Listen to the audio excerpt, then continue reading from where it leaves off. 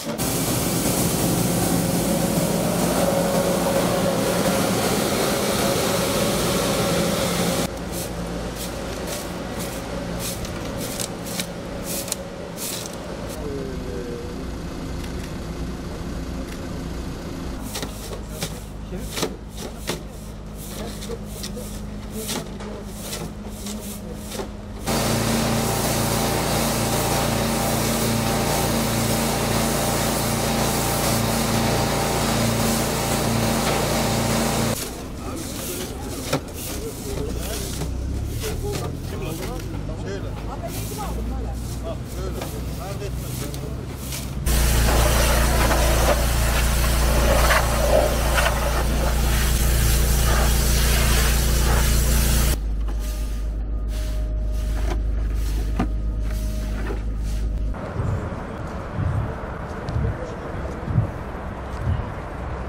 defa şunu söyleyeyim.